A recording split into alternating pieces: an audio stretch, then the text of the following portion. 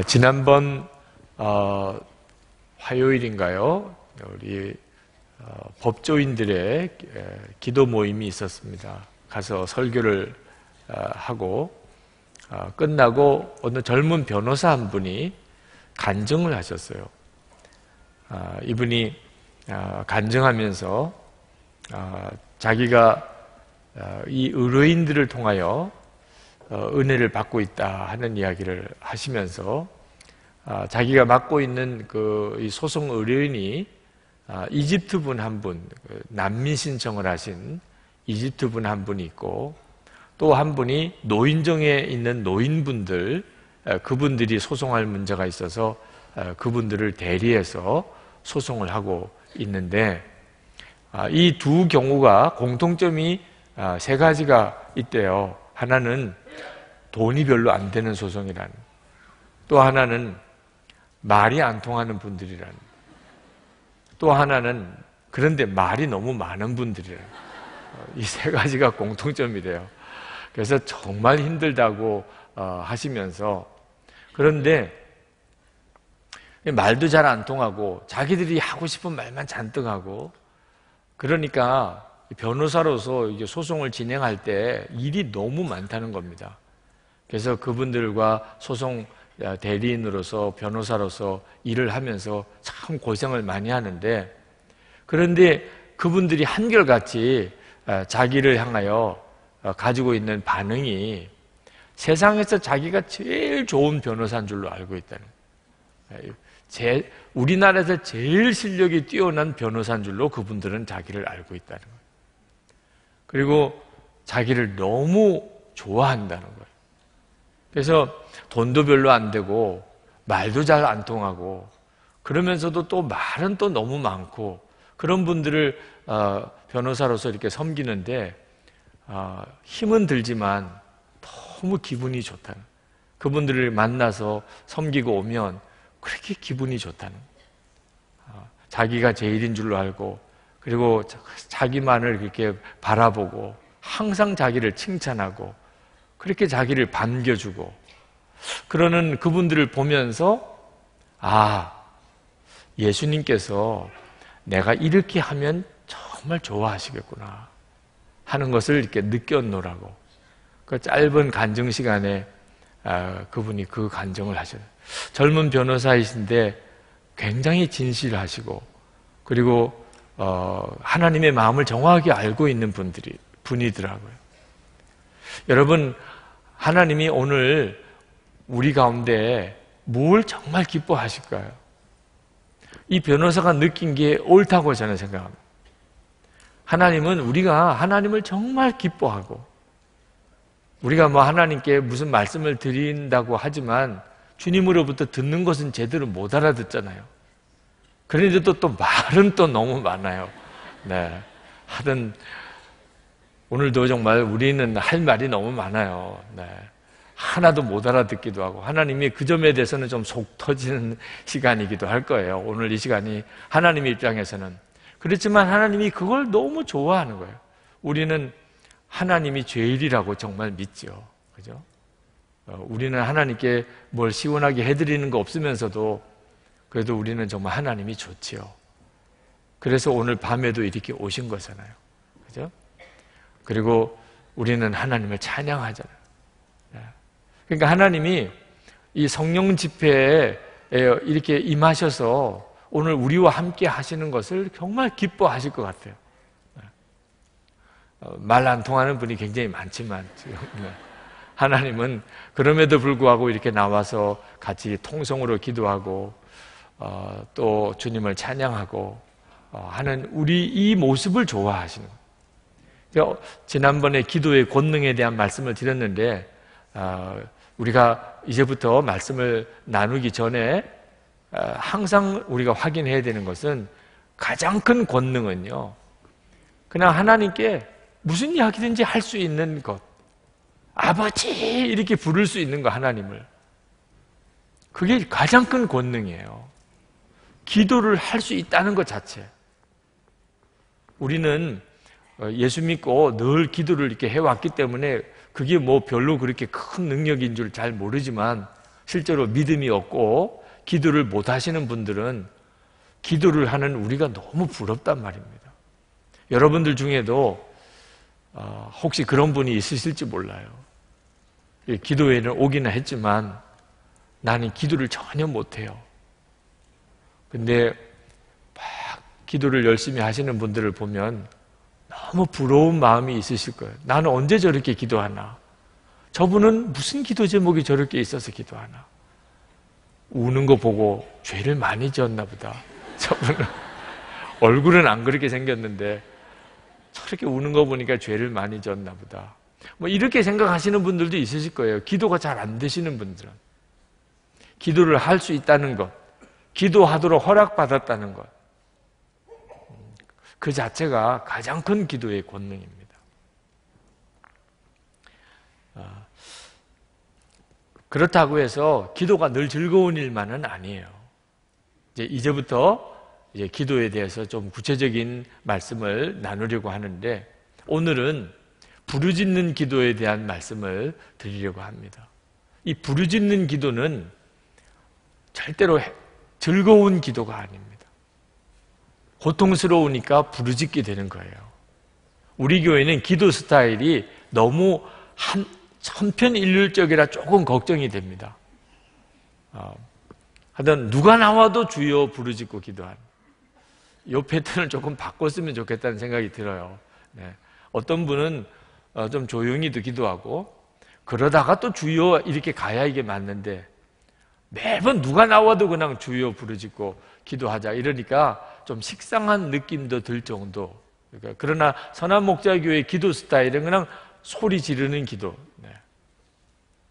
근데 하나님께서 우리에게 그렇게 기도를 하라 그러셨어요. 물론 이 문제에 대해서는 아, 좀 아, 앞으로 우리가 기도에 대한 말씀을 더 나눌 때 꼭 이 기도만 있다는 뜻은 아닙니다. 그렇지만 부르짖음의 기도가 하나님께서 우리에게 주신 굉장히 중요한 기도예요. 오늘 말씀에 내 백성의 부르짖음을 들었다. 그렇게 말씀하고 있습니다. 하나님은 우리의 부르짖음을 들으시는 하나님이거든요.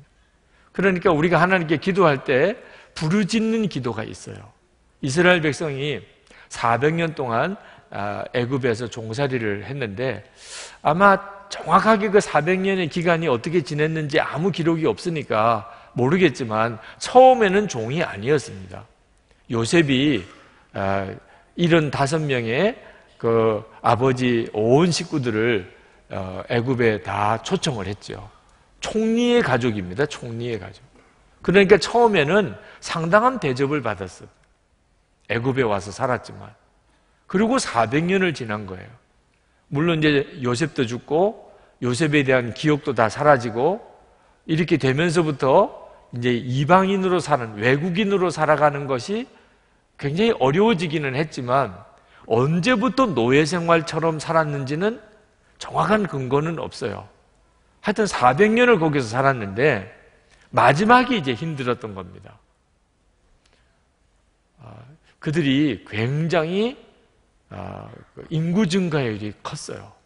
이 애굽 사람하고 이 히브리 사람하고 놓고 보면 히브리 사람들의 자녀들이 아주 건강하고 그리고 자녀를 많이 낳아요. 눈에 뜨이게 아마 그랬던 것 같아요.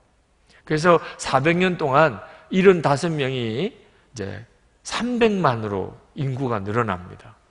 그 옛날에 300만이라고 하면 굉장한 인구예요. 사실 애굽에서 400년을 살았어. 우리는 우린 땅에서 일본의 지배를 36년 동안 받았는데 그러고도 우리가 일본의 어떤 어, 말, 습관 이런 것들을 다 청산하지 못해서 어려워하는데 외국에 가서 거기서 400년을 살았다고 한다면 민족 정체성이 없어질 수도 있는 거죠. 그런데 이 히브리인들은 400년이 지났는데 300만의 아주 똘똘 뭉쳐 있는 그런 동일 민족 집단이었어요. 뭔가 하나님의 역사가 있는 거죠. 이 일이 애굽 사람들에게 두려움을 심어줍니다. 그들에게 있어서 이 히브리인의 존재가 두려워지기 시작했어요. 어느 순간에 갑자기 두려워지기 시작했어요. 만약에 우리가 전쟁을 할 때 이 히브리인들이 저하고 내통하게 되면 어떻게 할까? 뭐 이런 생각도 했던 것 같고. 그래서 그들을 그때부터 노예로 부리기 시작합니다.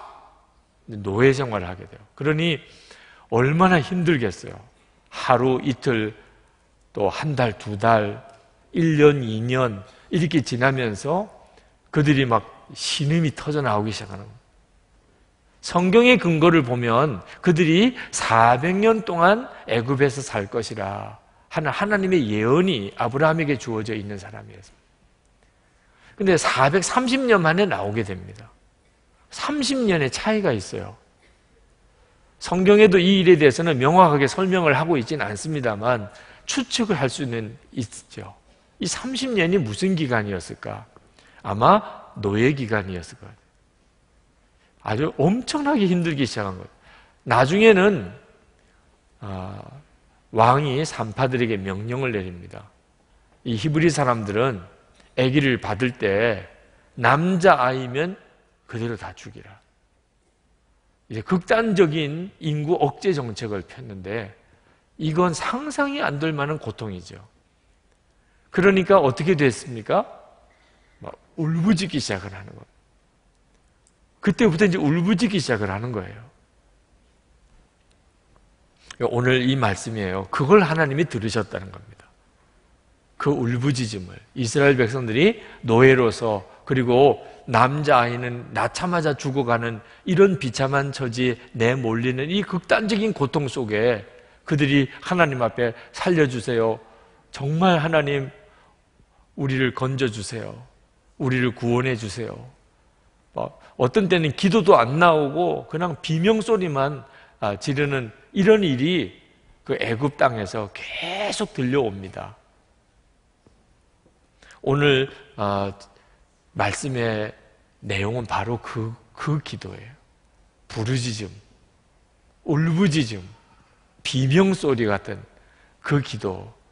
이 기도가 있다는 거예요. 성경이 가르쳐 준 기도 속에. 그런데 이 기도가 다 고통을 전제로 하고 있는 겁니다. 오늘 이 밤에도 아, 지금은 상당히 참 절제하고 계시지만 사실 그런 비명을 지르고 싶은 분이 오늘도 오셨을 거예요. 정말 기도하면 비명밖에 안 나오는 정말 살려달라는 그 기도밖에는 안 나오는 분이 있으실 거예요. 근데 이 부르짖는 기도가 하나님의 축복이라는 이 부르짖는 기도가 이게 하나님의 놀라운 계획이라는 겁니다. 여러분, 교회에서 기도하는 소리가 크면 말입니다. 그만큼 어려운 사람이 많다는 뜻이에요. 어려운 사람이 많은 사람들이 모인 기도 소리가 큽니다. 어려움이 많은 기도인데 아주 은혜롭게 들려요.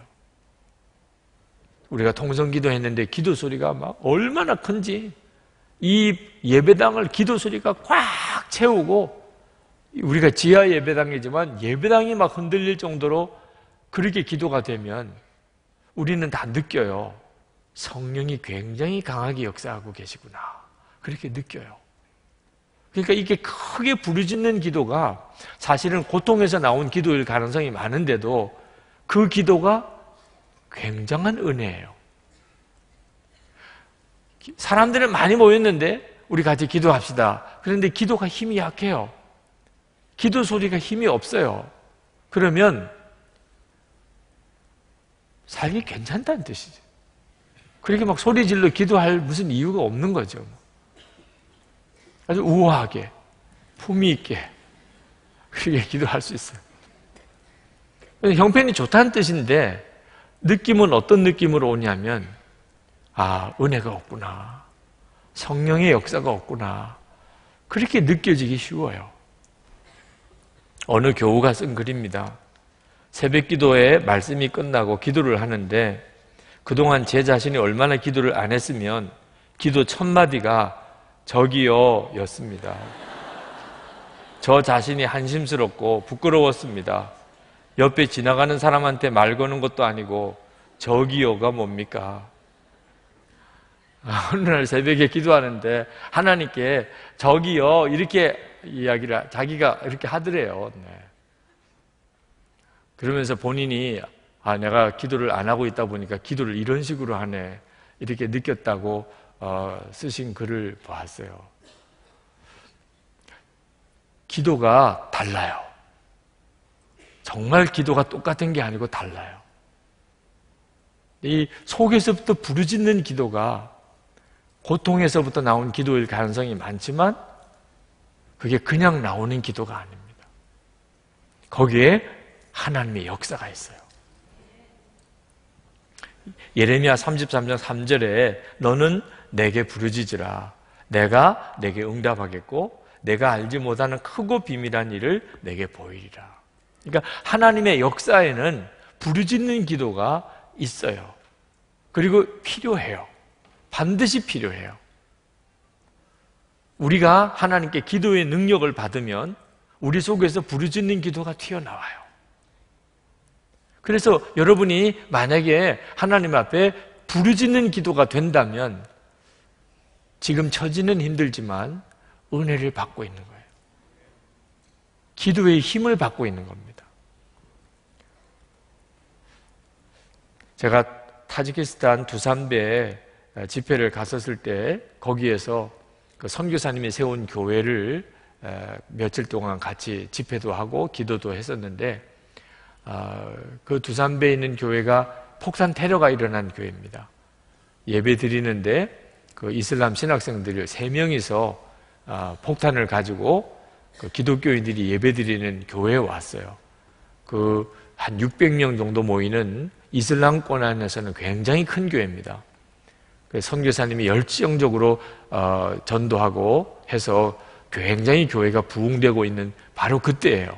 그 이슬람 신학생들이 아, 이 교회를 무너뜨리려고 그들이 예배드리기 전에 마치 이제 교인처럼 가방을 들고 거기에는 폭탄을 가지고 들어와서 그 예배당 한복판에 가방을 시한폭탄 장치를 해놓고 그 다음에 폭탄 하나는 입구에 두고 또 하나는 계단 밑에다가 폭탄 터지면 사람들이 입구로 몰리잖아요. 그때 또 하나 터지고 그리고 계단으로 막 몰려 내려갈 때 또 터지고 100여 그 명의 사상자가 나는 끔찍한 폭탄 테러가 일어난 교회예요. 그 교회에 어, 성도들을 좀 위로해 주시는 집회를 해달라 그런 요청을 받고 갔었어요. 가서 그 교회에서 집회를 하는데 굉장히 기도를 많이 해요. 이슬람권이기 때문에 더 그런 것 같아요. 성도들도 기도를 엄청나게 해요. 하루에 세 번 기도 시간을 정해놓고 교인들이, 전 교인들이 모여서 기도하는데 오전 8시 반, 또 12시, 또 저녁 5시, 세 번 교회 와서 누가 기도에 인도를 하는 게 아닙니다. 그냥 시간 정해놓고 사람들이 막 몰려와요. 그러면 예배당이 카펫처럼 이렇게 쫙 깔려져 있는 큰 예배당 공간에 자유롭게 그냥 어, 앉아서 그렇게 그냥 기도를 시작하는 겁니다. 제가 어, 그 시간에 같이 기도를 하러 어, 무릎을 꿇었는데 저는 그렇게 쉽게 기도의 깊은 자리로 들어가 본 경험이 별로 없어요. 근데 뭐 찬송을 누가 인도한 것도 아니고 기도회를 인도하는 것도 아닌데 그냥 그 자리에 앉았는데 그렇게 기도를 깊이 들어가요. 그 예배당을 꽉 채워서 성도들이 하루에 세 번 그냥 기도하러 교회에 오는 겁니다. 거기는 설교도 없어요. 그냥 무릎을 꿇고 말씀 보면서 스스로 기도하는 거예요.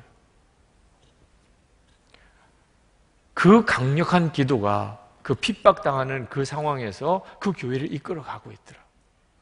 경찰들이 교회 입구에서 예배당 들어가는 사람들을 붙잡아 가지고 끌고 가서 고문을 합니다. 예수 안 믿겠다고 그럼 풀어주는 거예요. 그런데 그렇게 맞으면서도 예수 안 믿겠다는 말을 안 하는. 그 경찰서에서 풀려 나오면 그냥 사람이 거의 그냥 아, 들것에 실려 나와야 될 정도로 하면서도 예수 안 믿겠다는 말을 안 하는.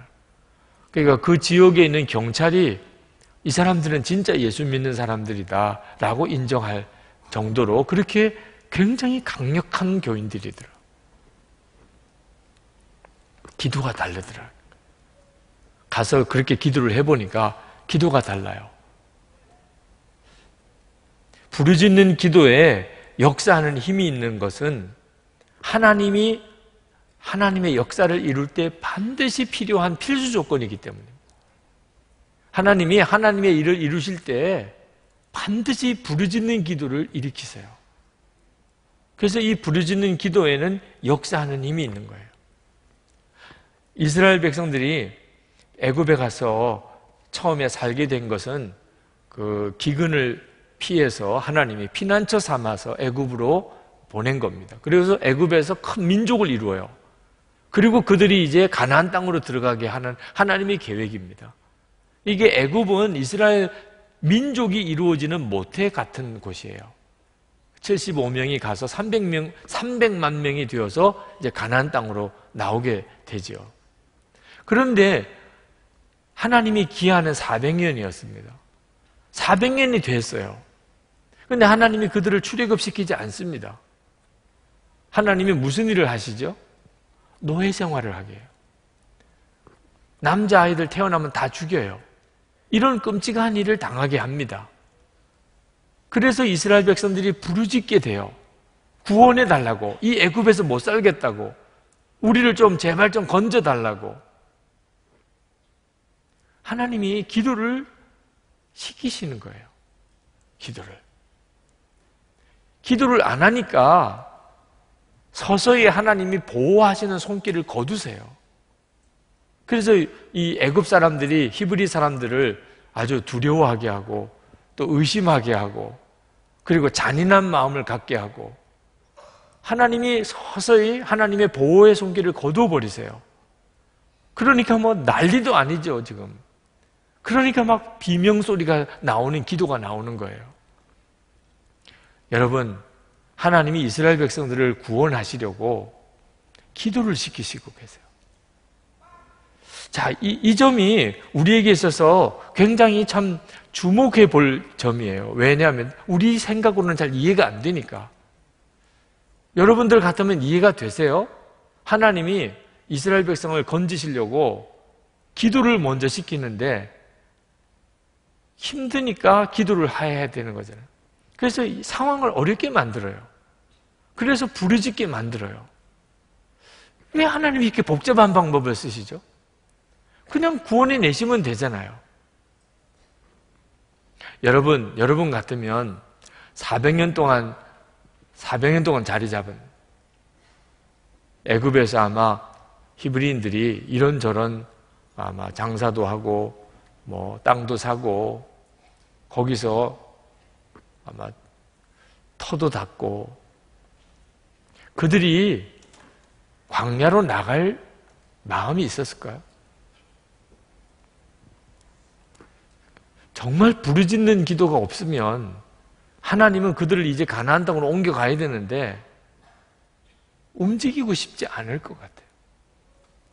그러니까 하나님이 그들을 이제 움직이셔야 되는데 너무 편안해 하는 거예요, 애굽이. 이 애굽은 영적으로 멸망의 도성이거든요. 근데 거기에 그냥 너무 편안해요. 안 움직이려 그래요. 우리들도 똑같습니다. 하나님이 우리를 정말 축복의 자리로 옮겨가려고 하셔도 깨닫지 못하는 많은 사람들은 귀찮다, 힘들다, 부담된다. 그렇게 될 수 있잖아요. 그러니까 하나님께서 그들을 움직이셔야 되니까 울부짖게 만들어요. 구원을 해달라고. 그래서 하나님이 모세를 보내가지고 이스라엘 백성을 인도할 때 싹 다 따라 나옵니다. 왜? 애굽에서 있다가는 진짜 죽을 것 같거든. 상황이. 그런데 이제 나갈 길이 생겼어요. 그러니까 그냥 그들 그대로 다 나오잖아요. 또 하나가 하나님이 어떤 일을 이루신 것이 그게 하나님이 하신 것이구나 하는 것을 우리로 알게 하려고 하나님은 항상 하나님이 역사하시기 전에 먼저 기도를 시키세요. 기도를 시키지 않고 되어지는 일은 하나님이 하셨다고 인정을 안 하는 거예요. 하나님이 만약에 나에게 돈을 많이 벌게 해주셨어요. 그럼 우리는 뭐, 아, 이것도 다 하나님의 축복이라 이렇게 말은 하겠지만 진심으로 내 마음속에 이건 하나님이 나에게 주신 거야. 이렇게 생각 안 합니다. 내가 돈 버는 재주가 있나 보다. 이렇게 생각하죠. 근데 만약에 정말 하나님 앞에 울부짖으면서 기도를 했어요. 그 다음에 하나님이 내 사업을 크게 역사하셔서 내가 많은 돈을 벌었어요. 그러면, 아, 이건 하나님이 하셨구나. 그 전에는 그렇게 돈이 안 벌리던데, 하나님께서 나를 그렇게 기도시키시더니, 그리고 이렇게 역사하시네. 하나님이 하셨구나. 여러분 건강 회복할 때도 또 여러분이 어떤 잘 안 되던 일이 어떤 일이 성사가 될 때도 우리 교회가 이 예배당을 짓는 과정에서 엄청난 기도를 하나님이 시키셨거든. 그래서 이 선한 목자 교회 예배당 건축과 부흥은 누가 한 거죠? 하나님이 하신 거죠. 그건 이 과정을 다 지켜보고 겪어본 사람은 다 그렇게밖에 고백할 수밖에 없어요. 엄청 기도를 시키셨거든요. 우리가 생각할 때는 안 되는 건가 이렇게 생각이 들 정도로 아 우리가 여기서 이렇게 무너지는 건가 이런 생각이 들 정도로 엄청 기도를 시키셨어요. 그 눈물을 저도 보았어요. 우리 장로님들, 성도들 그 눈물을 지금 이 예배당 인테리어 해놓은 이것을 다 벗겨보면 거기에 콘크리트 벽에 빼곡히 기도 제목들을 이렇게 썼어요. 제가 처음에 이 예배당 어, 어, 이큰 동굴 같은 곳에 내려왔을 때 가장 충격을 받고 인상 깊은 것이 그 벽에다 이렇게 어, 기도 제목들을 빼곡히 써놓은 것. 이 자리는 비닐하우스를 쳐놓고 여기 철회하면서 24시간 어, 기도하는 자리예요. 왜 그렇게 하시죠? 이건 하나님이 하셨다는 것에 대한 분명한 믿음을 주시려 그래서 하나님이 하나님이 어떤 일을 하시기 전에 먼저 기도를 시키세요. 기도를.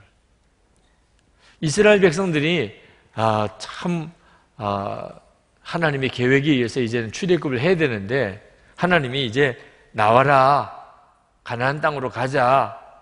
그러면 하나님만 가세요. 그렇게 된다니까요. 네. 우리 여기 다 터닦았어요. 여기서 우리 잘 살고 싶어요. 네. 그 애굽은 농사 짓기도 좋고 세계 문명지예요. 당대 최고의 문명지입니다. 그런데 거기를 버리고 떠난다. 이건 말이 안 되죠. 그래서 하나님이 아, 고통을 주기 시작합니다. 그러므로 여러분들이 여러분의 삶 속에 이해할 수 없는 고통이 왔을 때, 그래서 그것 때문에 부르짖게 될 때, 이제는 모를 때는 뭐 할 수 없지만, 이제는 아, 하나님이 내 인생을 턴 방향 전환을 시키시려는 모양이구나. 그냥 편안하면은 안 움직이니까 방향 전환을 시키시는 모양이구나. 라고 생각해 볼 필요가 있어요. 시골집에서 불이 나면 외양간에 소가 절대로 바깥으로 안 나옵니다. 불안하니까. 자기 외양간에 그냥 있으려고 그래요. 주인이 보면 기가 막힌 거죠. 거기서 불타 죽는 건데. 그럴 때 이 소를 끄집어내려면 방법이 딱 하나 있어요. 여물통을 뒤집어 엎어버려요. 소가 자기 여물통이 뒤집어 엎어버렸어요. 그러면 이 소가 여긴 소망이 없네. 내 밥통이 뒤집어져 버렸어. 아이고 이제 여기 있어봐야 뭐 먹을 것도 없네. 그리고는 순순히 끌려 나온다는 거예요. 그러니까 이 주인이 이 외양간에서 꼼짝을 안 하고 거기서 그냥 진짜 불에 타서 죽을 지경이 되는 이 소 끌어내려면 할 수 없이 여물통 뒤집어 버려야 돼. 그래야 마음 정리가 그냥 금방 되어버려서 나오는 거죠. 여러분, 여러분도 여러분의 삶 속에 몇 번 여물통 뒤집히는 사건이 있었을 거예요. 하나님이 나 죽이려고 그러시나? 나 하나님 믿고 그렇게 신앙생활 잘해보려고 그러는데 이게 세상에 왜 이런 일이 벌어지지? 그럴 때 여러분 정신 차려서 분별해야 됩니다. 스스로 알아서 움직일 수 없으니까 하나님이 나를 이끄시려고 그런 상황을 만드시는 거예요. 저도 지금까지 지내오는 동안 제 여물통이 뒤집힌 사건이 몇 번 있었어요. 네. 장애인이 될 지경이 됐을 때. 또 하나님께서 저에게 어떤 학위를 포기하라고 하셨을 때. 저에게 돌짝밭 사명이 귀하다는 고백을 주님이 받아내실 때. 24시간 주님만 바라보겠다고 그렇게 고백하고 나가게 하실 때. 다 그냥 순탄하게 된 게 아닙니다. 정말 제 인생에 아, 이게 저 소망이 다 끊어지나 이런 순간이 저에게 그런 사건들이었어요. 이제 돌아보니까 아 그렇구나 이런 느낌이 드는 거예요. 하나님이 여물통을 엎으실 때 너무 힘들어서 부르짖게 됩니다. 누구나 다 그렇게 돼요. 그런데 그 부르짖음으로 사실은 그가 사는 거예요. 오늘도 여러분 중에 정말 이런 심정으로 하나님 앞에 부르짖어서 기도할 수밖에 없는 심령이신 분들은 기도하세요. 하나님은 부르짖으라고 허락하셨어요. 내게 부르짖으라. 이거 엄청난 허락입니다. 누가 하나님 앞에 큰 소리를 지르면서 기도할 수 있어요? 실제로 하나님을 영안이 열려서 바라볼 수 있다면 여기서 그렇게 할 사람 아무도 없을 거예요. 감히 어떻게 하나님 앞에 소리를 지르면서 하나님 앞에 부르질 수 있어요. 하나님이 다행히 우리에게 영안을 완전히 열어주지 않으시고 있으니까 그나마도 이렇게 부르짖는 건데 하나님이 허락하셨어요. 부르짖으라. 내게 부르짖으라. 답답하면 부르짖으세요. 그런데 그 부르짖음이 여러분을 살리는 거예요. 형편이 어렵다고 그래서 다 부르짖어지는 게 아닙니다. 어렵기는 너무너무 어려운데도요, 부르짖는 기도가 안 나오는 분이 있어요. 영적으로 무감각하기 때문에 어려운 줄 모르고 부르짖지 못하는 분도 있어요. 좋은 예는 아니라고 생각이 듭니다만 병원에 가서 검사를 해보기 전에는 내가 얼마나 심각한 병에 걸렸는지 모를 수도 있어요. 당장 내일 병원에 가서 검사를 해보고는 그 자리에서 입원을 해야 될 수밖에 없는 사람이 지금은 히덕거리면서 정말 먹을 거 안 먹을 거 그냥 먹는 이런 사람도 있을 수 있어요.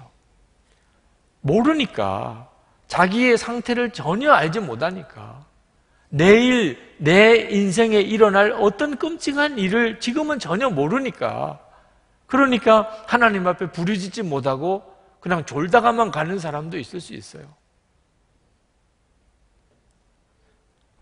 여러분 속에 부르짖는 기도가 나오는 것은 그건 엄청난 축복이에요. 그러니까 힘드니까 부르짖는 거긴 하지만 내게 부르짖는 기도가 있을 수 있다는 것 자체가 엄청난 은혜의 역사예요. 성령이 역사하지 않으시면 그 기도가 안 나오는 것이니까. 그리고 또 반대로도 기도문이 열리, 열려야 부르짖는 기도가 나오는 거지만 부르짖는 기도 때문에 기도문이 열리기도 해요. 답답하신 분들. 내 인생에 지금 정말 중요한 때 위기가 왔다. 정말 오늘 내가 기도에 어떤 힘을 얻어야 되고 그리고 하나님 앞에 정말 부르짖는 기도를 해야 될 바로 그 시간이다. 기도가 안 돼요.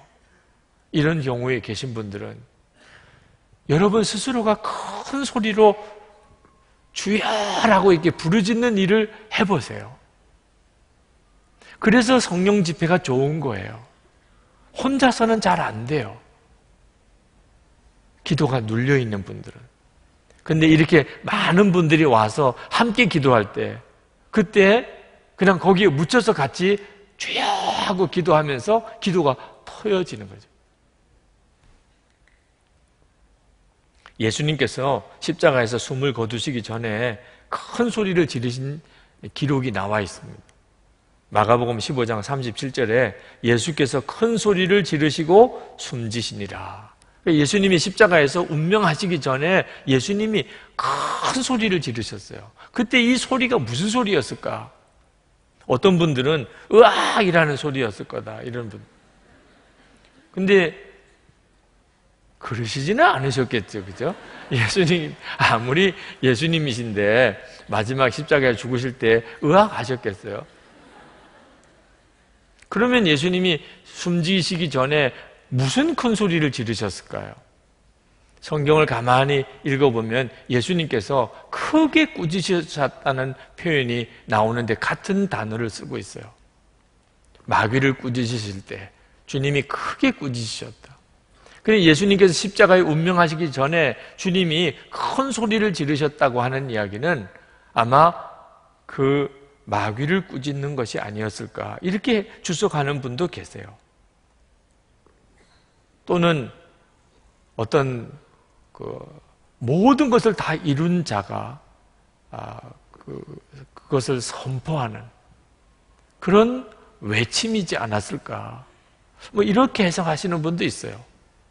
하여튼 예수님이 마지막 숨지시기 전에 큰 소리를 지르셨는데 이 소리는 하나님도 들으셨고 마귀도 들었을 거예요. 그리고 주님은 다 이루셨다. 그러시고 숨지셨어요.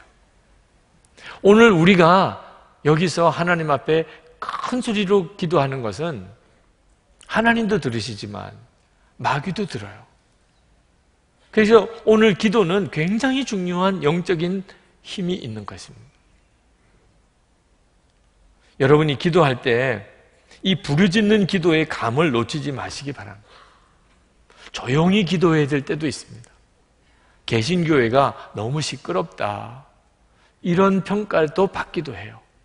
천주교회를 가면 뭔가 장엄한 어떤 그런 경건한 종교적인 분위기가 거기는 있는데 개신교에 오면은 너무 시끄럽다. 찬양도 너무 시끄럽고 기도도 너무 시끄럽고 이런 반응이 있어요. 그 점은 우리가 충분히 고려할 일이기도 해요.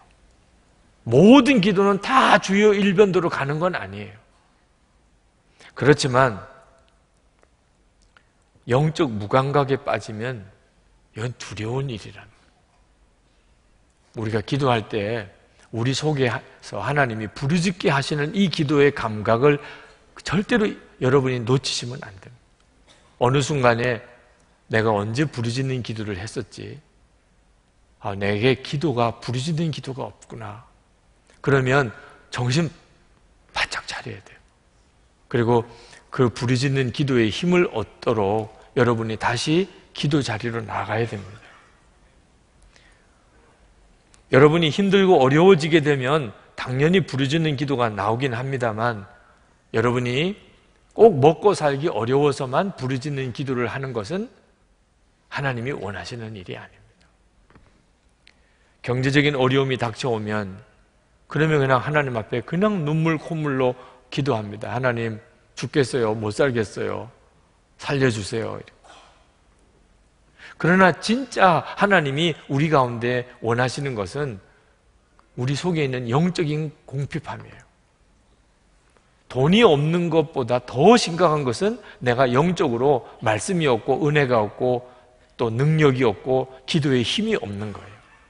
근데 내가 영적으로 궁핍해지는 것은 전혀 감각이 없고 돈 없는 것만 심각하게 느끼는 것은 하나님께서 기도를 통해서 우리에게 회복시키고 싶으신 거예요. 이스라엘 백성들은 지금 자기들이 당장 겪는 고생 때문에 울부짖었죠. 근데 사실은 진짜 중요한 것은 그들은 지금 애굽에서 나와서 가나안 땅으로 들어가야 되는 문제에 있어서 우리가 육신적으로 느끼는 어려움과 실제로 영적으로 하나님이 우리에게 이루시려는 것은 꼭 같은 것은 아닙니다. 오늘 이 시간에 여러분들이 그냥 저절로 부르짖게 되는 그 기도가 하나님의 계획이 다가 아닐 때가 있어요. 진짜 하나님이 여러분에게 원하시는 것은 전혀 다른 것에 있을 수 있어요. 그건 오늘 기도하는 중에 주님이 이루실 거예요. 부르짖고 부르짖고 기도하는 중에 전혀 다른 것에 대한 하나님의 응답을 받고 말씀을 듣고 해결함을 받는 역사가 일어나는 거죠. 예수님께서 40일 금식 기도를 하셨는데 얼마나 간절하셨으면 40일 기도를 하셨어요. 그 40일 기도를 하고 난 다음 결과가 뭡니까? 이제 십자가의 길을 시작하기 시작한 거. 공생애를 시작한 거예요. 예수님의 고난의 길을 이제 시작한 겁니다. 예수님이 겟세만의 동산에서 밤새도록 그렇게 울면서 기도하셨는데 얼마나 간절히 기도했냐면 땀방울이 핏방울이 되도록 그렇게 기도하셨어요. 예수님이 그 겟세만의 동산에 기도를 하시고 이제 붙잡혀서 십자가를 지시죠. 예수님이 그렇게 간절히 기도했던 그 뒤에는 언제나 십자가였어요. 근데 예수님이 오병이어의 기적을 행하실 때 5천 명이 지금 먹을 게 없어서 앉아 있습니다. 그들을 먹이려고 보리떡 다섯 개, 물고기 두 마리 가지고 그들에게 이제 나눠주라고 하는 제 생각에는 제 온 제자들이 다 달려붙어서 그냥 떡 위에 떡 보리 물고기 위에 손 얹고 통성기도 하고 항아리 기도 하고 뭐 이렇게 해도 쉽지 않을 일인데 그냥 그걸 들고 하나님께 감사합니다. 그리고 나눠주라. 1분도 안 되는 기도예요. 죽은 나사로를 살리실 때 이건 진짜 정말 어려운 문제잖아요. 그죠? 근데 하나님은 그 나사로 무덤에 묻혀 있는 나사로 있는 상태에서 하나님 감사합니다. 제가 이렇게 기도하는 것은 저들에게 증거가 되기 위해서 그렇습니다. 그리고는 나사로가 나오너라. 그건 나왔어요. 아유, 우리 생각에는 정말 밤을 새가면서 금식도 하면서 이렇게 기도해야 될 절박한 문제 같은 문제는 1분 기도도 안 돼요. 하나님 감사합니다. 그러시고 그냥 하나님 명령하셨어요. 네, 모든 걸 다 그렇게 하신 거 아니에요. 진짜 예수님도 40일 금식하시고 철야하시고 이렇게 기도하셨던 때가 있는데 그때는 다 너무너무 중요한 사명의 길을 갈 때 그렇게 하셨어요. 근데 우리는 그걸 영적으로 다 깨닫지 못하기 때문에 우리는 어떤 때는 이 기도를 뒤바꿉니다. 진짜 기도를 많이 해야 될 시간 앞에서는 간단하게 기도해버리고 아무것도 아닌 거 나중에 하나님 앞에 가보면은 내가 왜 그, 그거 가지고 그렇게 기도를 많이 했을까? 이런 문제들을 가지고는 몇 달씩 고민하면서 그렇게 기도하고 우리는 이 분별이 안 돼요. 근데 우리가 하나님 앞에 정말 성령님 나를 도와주십시오. 이런 마음으로 나가서 기도하기 시작하면 주님께서 우리의 기도를 쓰시기 시작합니다. 처음에는 먹고 사는 문제 때문에 너무 육신적인 괴로움 때문에 너무 다급한 어? 내 문제 앞에서 염려와 근심으로 그렇게 억울해서 너무너무 억울해서 뭐 이렇게 막 울면서 기도를 시작을 했지만 하나님이 그 기도를 쓰셔서 하나님의 구원의 역사를 이루고 사명의 역사를 이루고 하나님의 영광의 역사를 이루고 가시는 거예요. 오늘 밤에도 주님이 그렇게 하실 것입니다.